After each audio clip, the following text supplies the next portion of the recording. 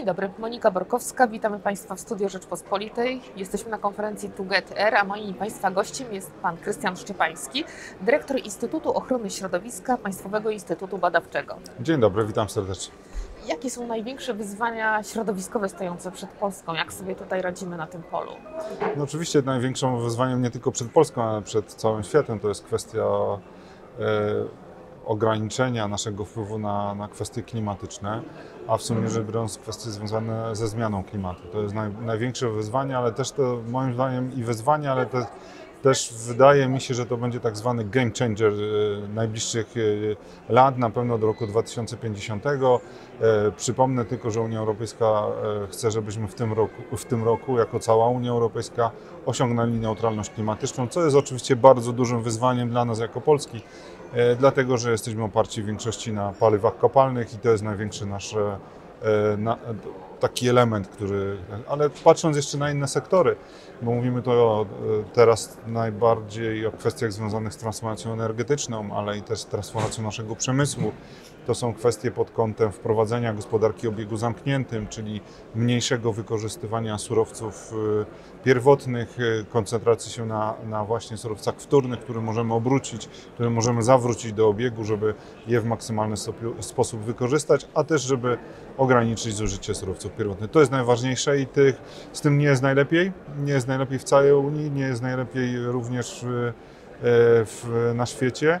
E, przypomnę tylko, że wzrost konsumpcjonizmu spowodował, że w, w tym wieku e, wzrost zużycia surowców pierwotnych skoczyło 70%.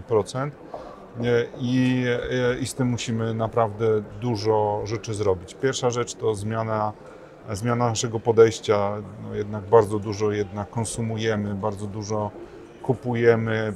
Nie do końca wszystkie rzeczy są nam potrzebne E, a to jest podstawowy element tego, żeby myśleć o gospodarce obiegu zamkniętym. Mhm. Mamy nałożone konkretne terminy, w których musimy wywiązać się ze zobowiązań. Czy sądzi Pan, że uda się w terminach 30, potem 50 kolejny cykl działań e, sfinalizować nasze? To jest bardzo trudne, jeżeli się koncentrujemy na tych terminach, które mówią generalnie o naszej neutralności klimatycznej. No w niektórych obszarach jeszcze na tą chwilę można powiedzieć, że nie widzimy technologii, nie znamy takich technologii, które nam pozwalają na to osiągnąć, ale pamiętajmy, że tu mówimy o neutralności tak zwanego net zero, czyli e, z jednej strony to, co emitujemy e, i to, co możemy pochłonąć, czyli z jednej strony e, te aspekty związane z kwestiami przyrody, odpowiednim użytkowaniem, kwestiami ochrony tej przyrody, tak żeby jak najwięcej móc pochłonąć gazów cieplarnianych, no bo też dobrze sobie zdajemy sprawę, że mm, są obszary jak rolnictwo, są obszary jak e, kwestie związane e, w ogóle z ekosystemami, gdzie nie, mo gdzie nie można ograniczyć, ograniczyć emisji, albo można ją ograniczyć tylko w, w, w określonym zakresie, czyli musimy mieć też ten element pochłaniania i musimy to rozwijać, czyli E, bioróżnorodność, te kwestie związane z pochłanianiem, te kwestie związane z naszymi lasami e, i z ochroną tych lasów, ale też odpowiednim ich użytkowaniem technologicznie jesteśmy gotowi na te zmiany? Bo to Nie. jest wyzwanie pod wieloma względami, organizacyjnym, finansowym, technologicznym właśnie. To może zacznijmy od tych technologii. Czy one już wystarczające są, żeby budować coś na tej bazie? Tak jak wspomniałem, jeszcze w niektórych obszarach, na pewno obszarach na przykład przemysłowych e, są duże luki, jeżeli chodzi o kwestie technologiczne. Nadal, nadal czekamy i nadal będą rozwijane technologie innowacyjne, które mają nam w tym pomóc. E, no a dlatego nam tak trudno o tym wszystkim rozmawiać e, i dla trudno nam sobie wyobrazić tą neutralność klimatyczną, że faktycznie widzimy obszary, w których mamy duże problemy i, i tutaj nauka i, i rozwój technologii musi nadążyć nad tymi zmianami, a pamiętajmy, że te zmiany klimatu są o wiele szybsze niż się spodziewaliśmy, w związku z tym musimy coraz szybciej e, napędzać te aspekty związane z dostosowaniem technologii, e, z innowacyjnymi technologiami, aby uzyskać tą neutralność. Mhm. Chciałam jeszcze wrócić trochę do oszczędzania zasobów, bo ta transformacja ma polegać nie tylko na budowie nowych źródeł wytwórczych, zielonych, e, na rozwoju nowych technologii, ale też na oszczędzaniu zasobów tym, co mamy. Jak nam e, idzie w tym obszarze polsce? E, czy tutaj ta gospodarka obiegu zamkniętego trafia na podatny grunt? Czy jest zrozumienie dla tej inicjatywy? Czy wykazujemy się wystarczającą e, aktywnością w tym obszarze? No tu na pewno nie. Tutaj ab- absolutnie trzeba e, myśleć o wprowadzeniu odpowiednich zachęt, wprowadzeniu odpowiedniego podejścia do tego, aby ta gospodarka obiegu zamkniętym e, w 100% tak została wdrożona. Tylko pamiętajmy, że gospodarka obiegu zamkniętym to jest szersze spojrzenie, szersza perspektywa.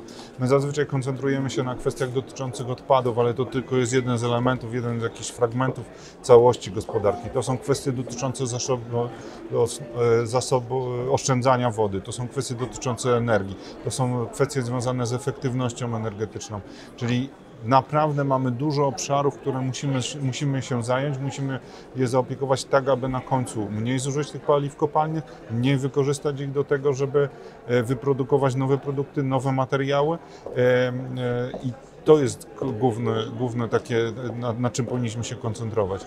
Jak pom, no jeżeli chodzi o nasze cyrkularność, no to my, my, my, my osiągnęliśmy w takich badaniach, które zostały przeprowadzone, jesteśmy jako kraj na poziomie 10% zasobności, czyli 10% surowców, które mamy już wykorzystane, zawracamy. A to jest i tak dużo na tle Skandynawii na przykład. To jest i tak dużo na, na tle Skandynawii, bo faktycznie Skandynawowie, którzy są tutaj no, takimi, mają ten wizerunek bardzo ekologicznych społeczeństw, bardzo eko- ekologicznych państw, są na poziomie kilku procent, więc my jesteśmy naprawdę tutaj może w, na, dobrym start, w dobrym, na dobrym początku. Pamiętajmy, że Holandia to jest 24, 20, ponad 24%.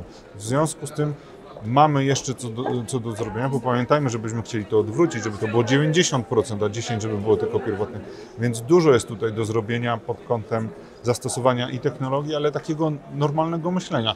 My, no ten nawet kryzys, kryzys energetyczny, kwestie związane z paliwami, to też zachęciło nasze przedsiębiorstwa do tego, żeby poszukiwać nowych źródeł, uniezależnić się od dostawców e, ze wschodu e, i, e, i to też zna- znalazło duży, duży, duży oddźwięk w inwestycjach, w tym, że mm, wła- właśnie odnawialne źródła energii, ale też i biogazownie, czyli stabilne bardziej źródła energii. Też bardzo dużo już jest przedsiębiorstw, e, przedsiębiorstw związanych z, gospodarką wodno-ściekową, wodno-ściekową, w których już zastosowano właśnie takie domknięcie, czyli te osady wynika, e, pozostające po oczyszczaniu ścieków zostają zagospodarowane. Z nich się produkowany jest biogaz. Ten biogaz możemy wykorzystać pod kątem energetycznym, pod kątem cieplnym, więc tych elementów jest naprawdę bardzo dużo, a to, co z biogazowni nam wychodzi, możemy wykorzystać jako nawóz. Nawóz, który nie wykorzystuje, nie jest sztucznym nawozem, e, jeżeli oczywiście przyjdzie od, o, o odpowiednią akceptację e, i, i uzyska e, potwierdzenie w badaniach, może być wykorzystywany na, naszy, do, do, na nasze uprawy. Bardzo dziękuję za wizytę w naszym studio. Państwa dziękujemy, Państwu dziękujemy serdecznie za uwagę. Do zobaczenia. Dziękuję bardzo.